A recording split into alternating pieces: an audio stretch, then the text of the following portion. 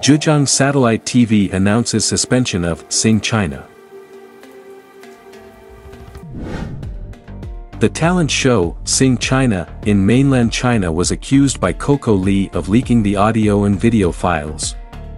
Although the program team issued a statement refuting that the audio files were edited, they were still bombarded by netizens, and the controversy continued.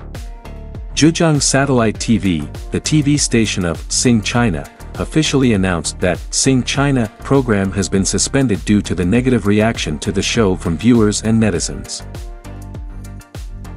Amid the constant controversy, the latest season of Sing China was originally broadcast as usual, but Zhejiang Satellite TV, the TV station of the show, finally made a move and announced today that it is investigating the problems in the show and decided to suspend the broadcast.